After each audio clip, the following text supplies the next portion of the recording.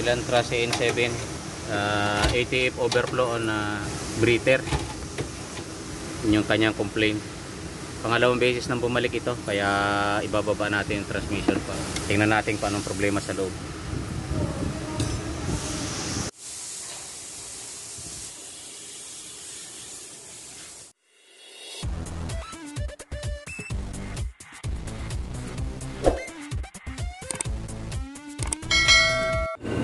Assalamualaikum warahmatullahi wabarakatuh mga kamati, kumusta po kayo? Welcome to my channel once again, this is Amir, your Matic Master Ah, Sa video ito ay ah, meron akong isang ipapakita sa inyo ano? Ito ay ah, bagong problema ng Elantra ah, Elantra AD at saka Elantra CN7 Ah, Ito meron tayong transmission Ah, Ito ay transmission na A6GF1 ah, Dash 2 series ano?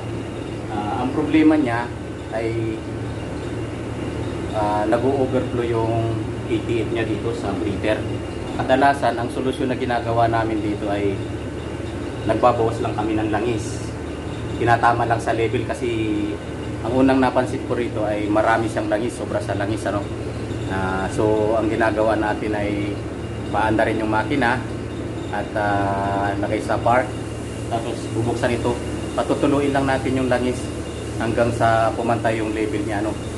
Pero nung tumagal ay binabantayan ko kung ano yung magiging side effect doon sa dito sa ating transmission. Kaya naman na nung naglagpas ng nawala sa warranty ay yun naglabasan ng mga naglabasan yung mga problema no. So simula noon ay nag-observe na ako at ah, binabantayan ko nga kung ano yung magiging trouble.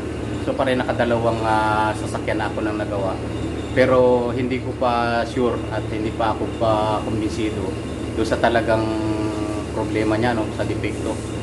Ito ay pangatlo doon sa aking ginagawang observation at experiment na kapag nakita natin yung the same na problem doon sa mga nauna ay saka ko sasabihin sa inyo kung ano talaga yung dapat nating palitan.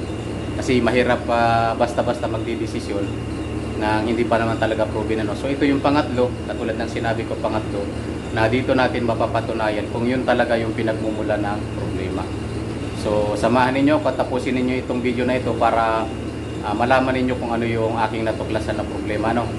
So ang gagawin natin muna rito ngayon ay huhugasan muna natin.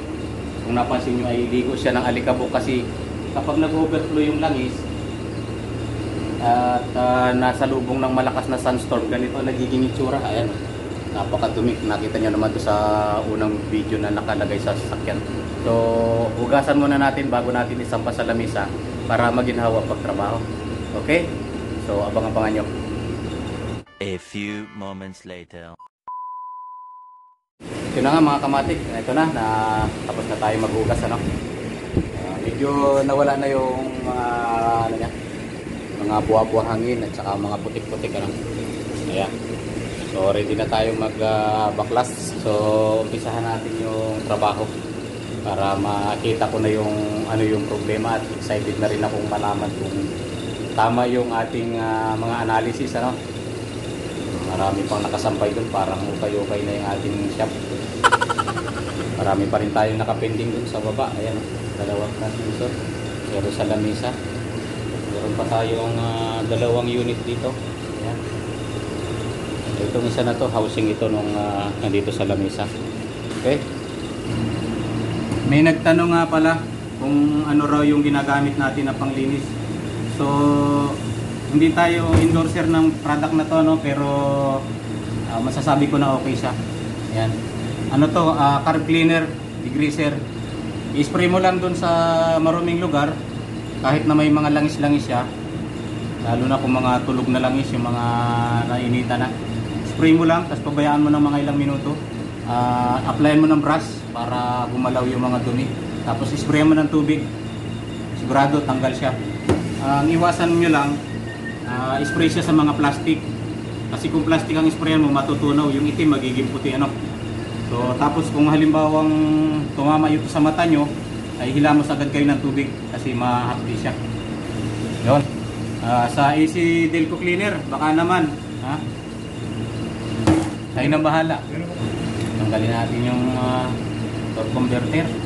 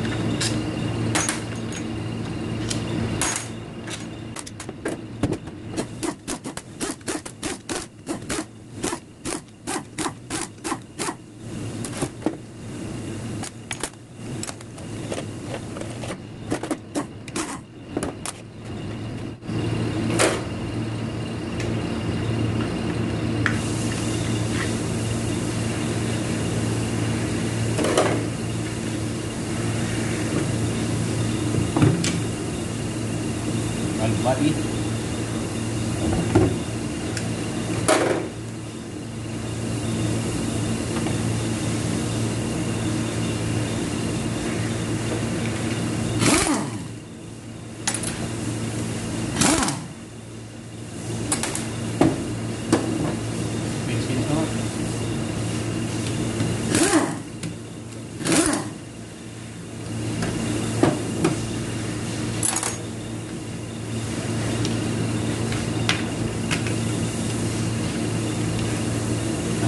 Harness. Ayan. Pagtanggal ng shifter, pagtanggal ng lock na to, minamagnet lang. Ka na magnet.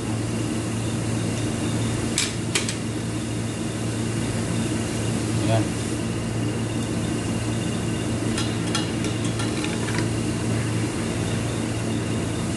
Yung selector at saka yung rod ng fork sa pating.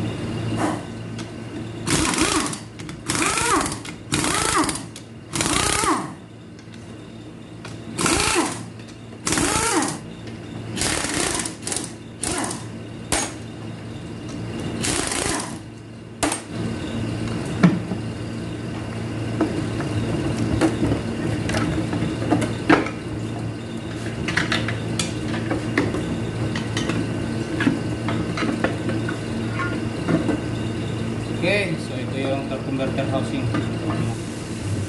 Potential. Tanggalin natin ang filter.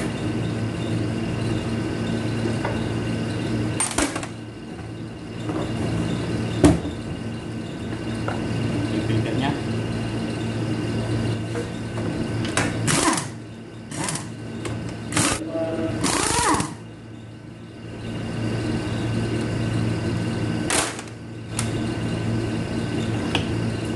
Yung kanyang pump.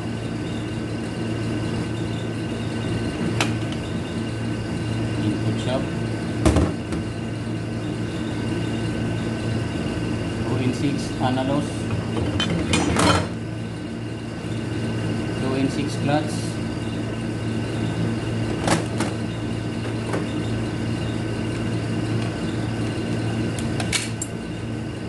Snap ring ng uh, drive. Yung rehab. UV clutch.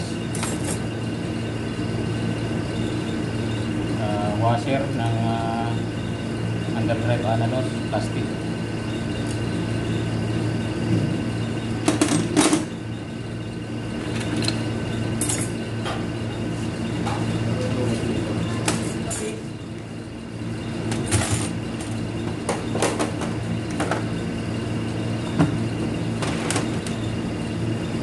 So ito yung kanyang underdrive piston.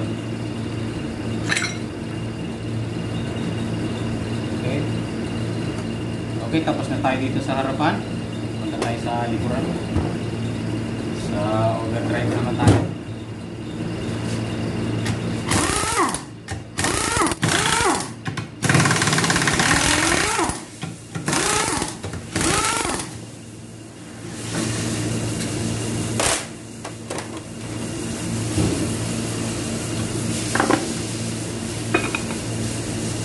rear cover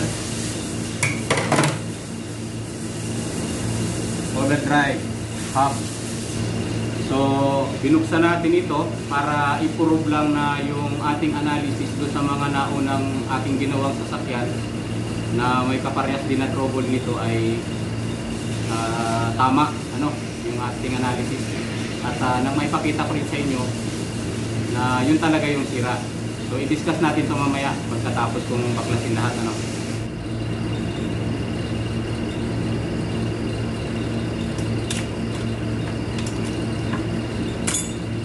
Okay, stop ring ng ah, one way clutch. At ito naman yung kanyang one way clutch.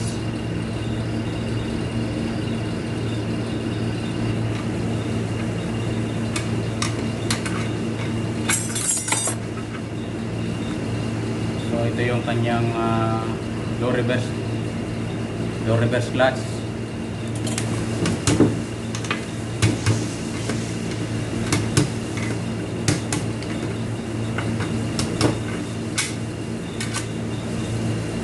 Snap ring yung piston. Spring retainer.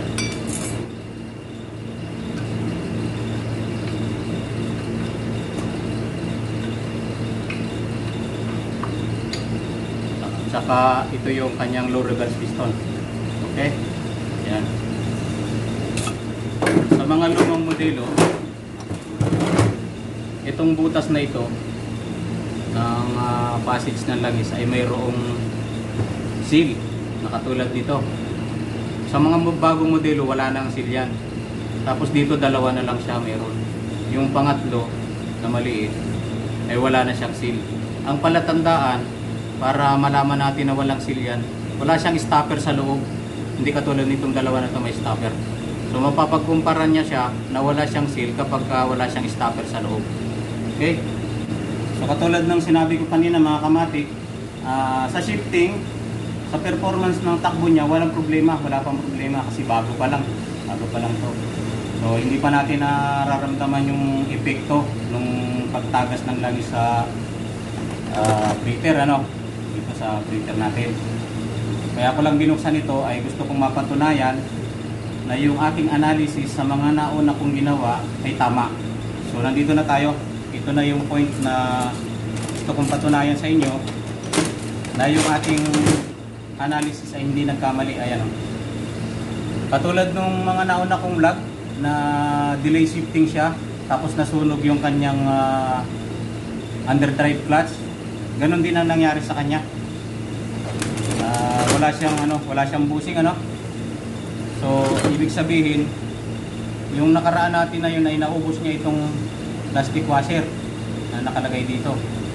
At ito naman yung nakasaklob sa kanya na analos ng 2 in 6. So kapag ka, ang analysis ko kasi dito, kapag tumatakbo siya ay nagwiwigil dahil wala siyang ah, busing ano.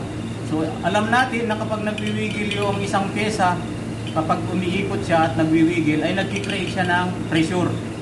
Okay? So yung pag-create niya ng pressure, ah, nagbi-build up siya ng pressure sa loob at itinutulak niya yung langis palabas. So ang pinakang madaling point na labasan niya ay dito sa breather. Aakyat yung langis dito, aapaw ng aapaw, lalo na at yung pagkalagay nila ng langis ay medyo sobra, ah, mataas sa level.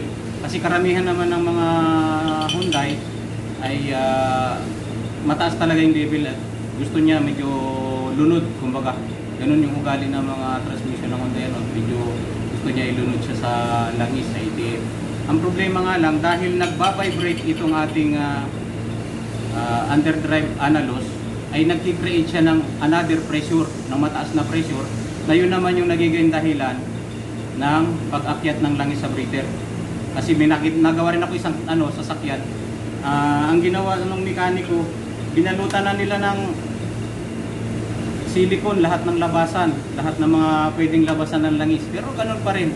So naisip ko na dumat nung dumating itong trabaho na ito, nitong unit na ito, na pagkumparahin yung transmission ng Elantra AD at saka nitong CN7 kung may pagkakapareho siya ng ah, dahilan kung bakit umaapaw yung langis. So ngayon, ah, na-prove ko na na ito talaga yung problema niya. Ah, pakita ko sa inyo yung isang klase ng A6 JF1 das sa 2 ano na nakakabit naman siya sa kuna. Pakita ko sa inyo ngayon yung sa kuna naman na